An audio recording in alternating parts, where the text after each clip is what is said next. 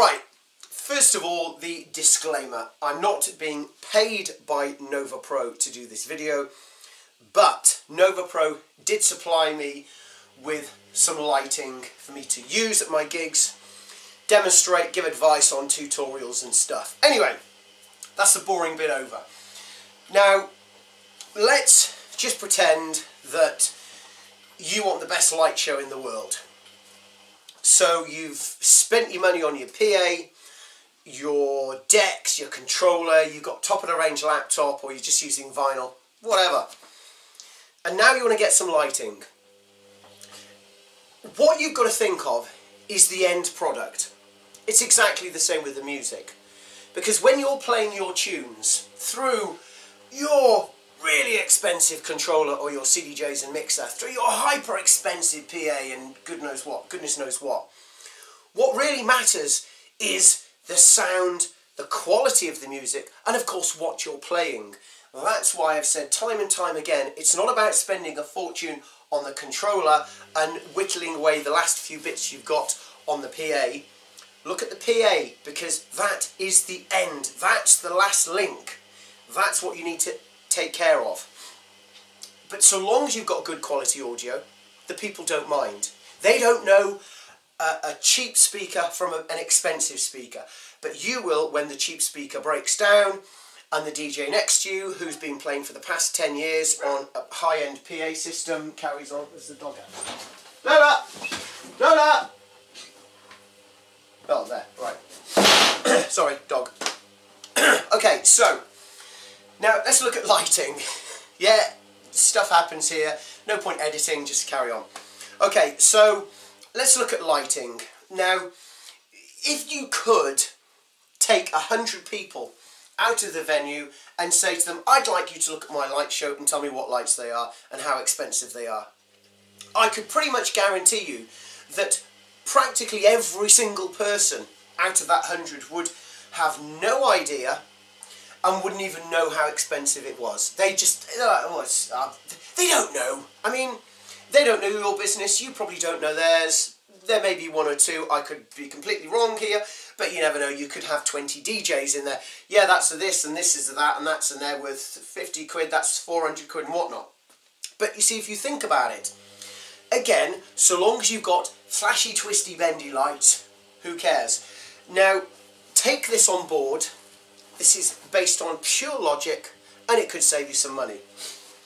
So you go out and you buy yourself a thousand pounds moving head. Now that moving head should have 12 months warranty. Something goes wrong with it, you send it back, it gets fixed, you get it back, it doesn't cost you anything. After 12 months, if something goes wrong, you've got to put your hand in your pocket and you've got to fork out maybe quite a bit of money because you've spent a thousand pounds on buying it. You're not after 12 months thinking, oh, it's broken, just chuck it. You're going to feel as though you need to fix it, which could cost you a lot of money. On the other hand, if you buy inexpensive, good quality lighting, if it breaks within the year, same thing, 12 months, take it back to where you bought it from. They have a legal right. Don't quote me there, but as far as I know, nothing's changed. You buy it from a, a reputable dealer you take it back to the dealer and then it's their responsibility to change, exchange, fix or whatever. So that's, that's their responsibility, you bought it from them. But after the 12 months, if you spent, let's say, 50 or 60 quid on it, do you know what? If it lasts over 12 months, which it should do, if it lasts for 14, 15 or 2 years after that 2 year period, you've got a couple of options. One is to chuck it, or the other one, if you got if you bought two or three at the same time, keep it for spares, okay? Now, I'm going to show you this. Uh, I'm going to grab that, I'm going to grab these two things, and I'm going to grab that in one hand. There you go. So there's one hand. And this is my other hand here, which is going to grab these two lights. Now, let's imagine I'm walking to the venue. Alright, so that's one carry. And in the trade, this is what we call the carry because you are carrying items in and out. And one worst DJ's nightmare is to find a venue that has what we call a long carry. In other words, you go up some stairs, down a corridor, into a lift, up the lift, into a corridor. Being there, seen and done it. It's a bloody nightmare. In fact, it takes forever just to get the stuff in there.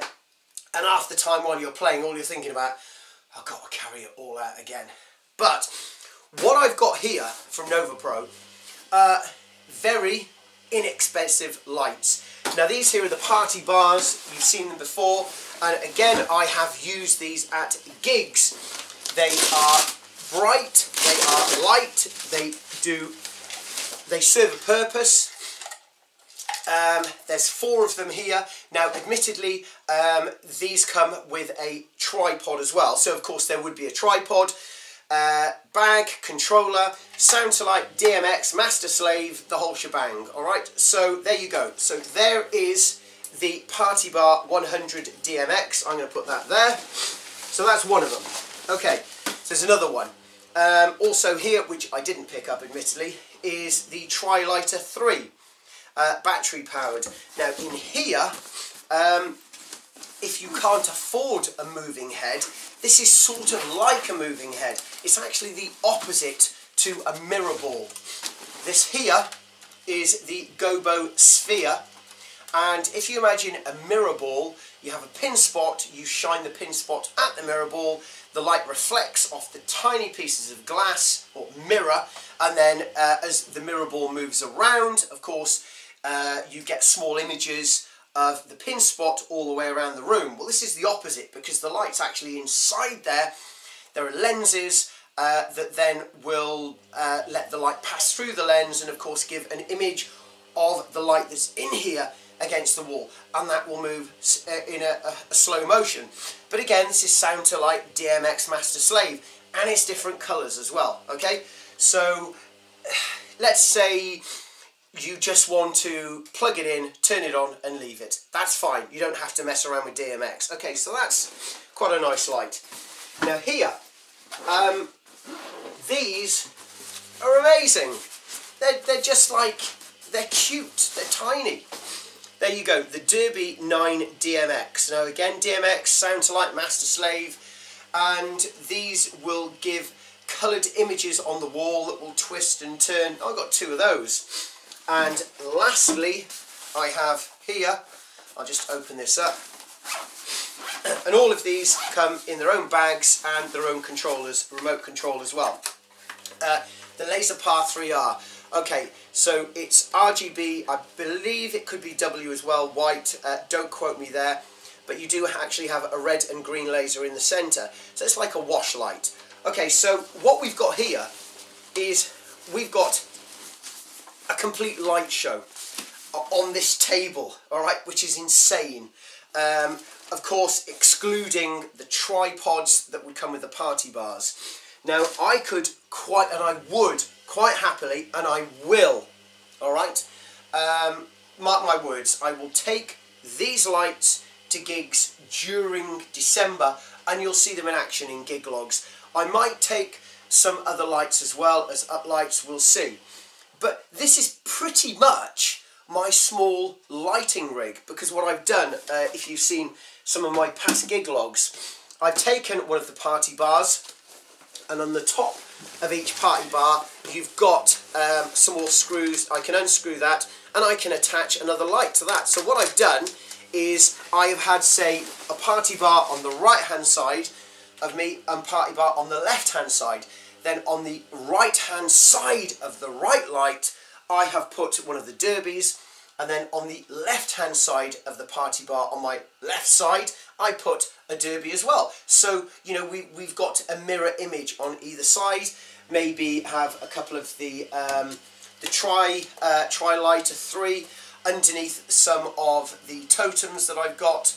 Um, and possibly then have the Gobo Sphere attached to a speaker or something like that, just to give a nice kind of movement and feel in the room. And also sometimes, uh, before even you start your event, turn all the other lights off and just have something like this, just, you know, while you've got background music. Um, and then you've got um, the laser PR, sorry, uh, laser PR, laser par, you try thinking of these names, uh, Laserpar 3R, have that facing on the dance floor so it gives the dance floor a nice kind of wash with a few lasers moving on it.